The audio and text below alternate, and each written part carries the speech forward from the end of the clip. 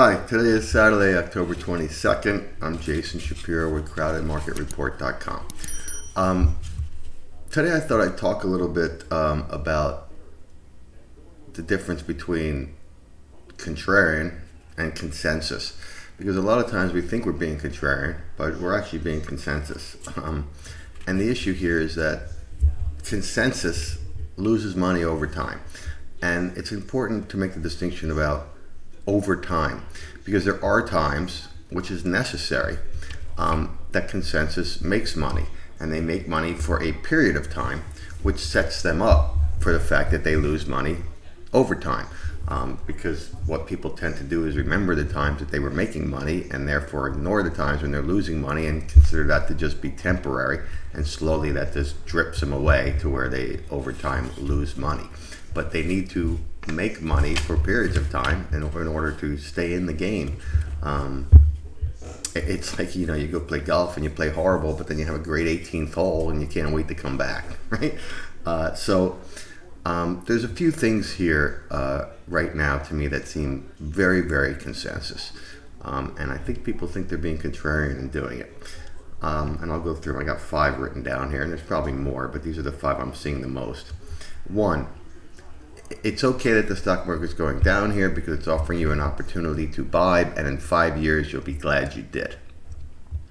Okay, um, that is the consensus here. I would argue with it. I, my personal opinion is that in five, ten, and maybe even 15 years, the market's going down for that entire period.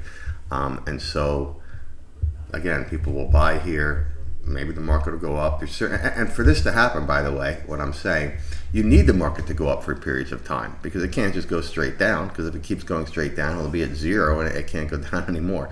So you'll have these periods, and you, you always get these in bear markets. Everybody knows you have these these big moves up.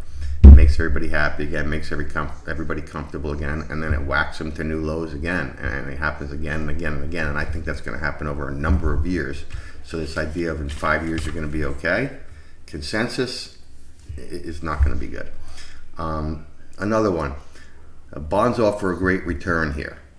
I hear it all day. People saying buy the one year note, buy the two year note. You know, you're locking in 4%. You can't lose that 4% because you're locking it in. And that may be true.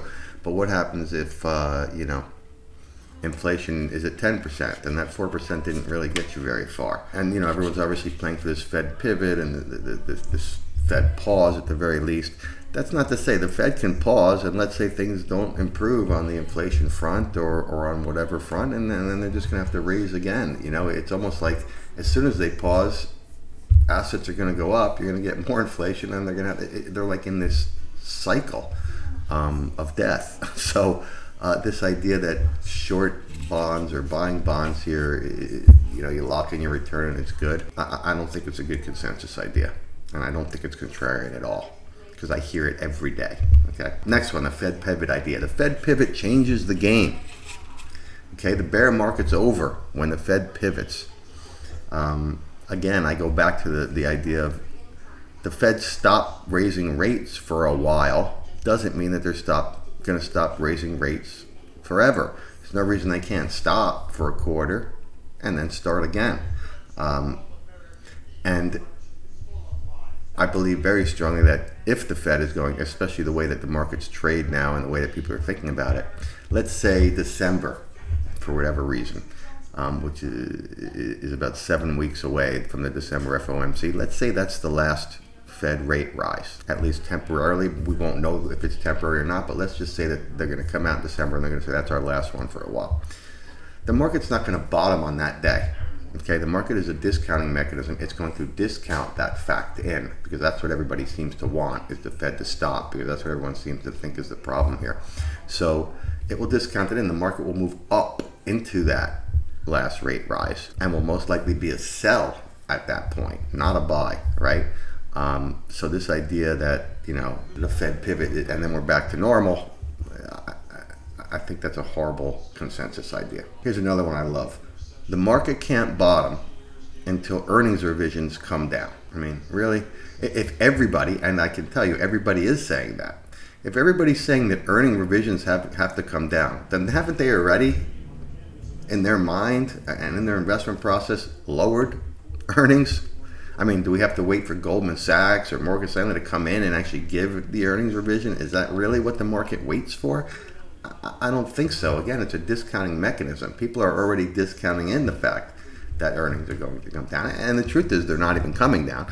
But people have discounted the fact in. So again, this is where maybe we can get one of these bounces here, these bear market bounces, to suck everybody back in. Because what to me, they've already discounted in the fact that earnings are going to come down. What happens if earnings don't come down to where they've they've done that? Well, we're going to most likely get a rally, and you, you saw that with like Netflix this week, and and actually a number of other companies, Pepsi and whoever else. And I'm not a huge fundamental person, but uh, one person who I do respect on their work on that was explained to me this week. You have revenues going up because of inflation. People are charging whatever, let's call it 10% more for their goods, okay? And their number one cost, which is um, labor costs, are going up less. So your revenues are going up 10, your costs are going up 5. I don't see how that hurts earnings. I also don't see, by the way, how that gets you to fire people.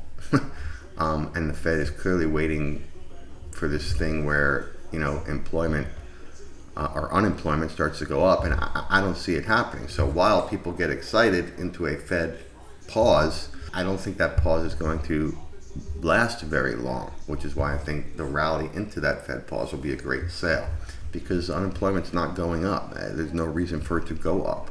And the last one is recession is coming. Okay, uh, second quarter 2023, third quarter 2020, whenever it is, the, the recession is definitely coming. Okay, that, that may be true, but who cares, right? Uh, to me, the market is not a function of, other than over a very, very long period of time, the market is not a function of the GDP. I mean, I lived in Hong Kong in 1992. I can remember the Hang Seng Index was at 12,500 at the time. Okay? Since 1992 to now, the Hong Kong economy, I don't know how many times it's gone up, but I bet you it's triple the size. And you know what? The Hang Seng Index is at 16,000. So it's gone up 30% in 30 years, 1% a year, while the economy has probably tripled, right? Um, I've spoken about this before, but the Japanese stock market topped in 1989. It's a good, you know, uh, let's call it 30% lower than it was in 1989. And the Japanese economy has clearly grown a lot since 1989. So this idea, just to reverse it, that recession is coming and therefore that's somehow bad, you know, is just a consensus silly argument right? One has nothing to do with the other. And, and, by the way, if everybody's expecting recession to come, then aren't they going to therefore prepare for that by cutting back or whatever, and therefore affecting the fact that that, that recession may not be coming, right? Um, because they've already discounted that in. So that's another consensus idea that I think is, is silly here. That, that's the general idea, right? Consensus. It's going to lose you money over time. So you have to you have to stay away from it. Might make you money for a time, but it's going to lose you money over time. And those are what I see as the big consensus ideas here. Okay, so as always, any questions or comments? Oh, and eh, eh, I have to say, if if you like what we're doing here, can you please, you know, join our our, our YouTube channel. Um, you know, subscribe to our YouTube channel. And if you'd like more, you know, we have the crowdedmarketreport.com and please subscribe there where you'll get a lot more commentary. You'll get, you know, a weekly newsletter. You get access to our Discord page, which is very active every day and night and weekend for that matter. We have a lot of trading freaks on there talking about all kinds of different things. You also get access to our COT charts, which I can tell you are the, the, the best COT charts um, available um, not just from a number of markets that we cover perspective, but also from how you can manipulate the charts if you want, uh, different days, different time periods. Um, they're, they're really, really good. So, again, if you like what we're doing here, please uh, join us at thecrowdedmarketreport.com as well. Um, and uh, hopefully, we'll see you there. And otherwise, have a good week. Thank you.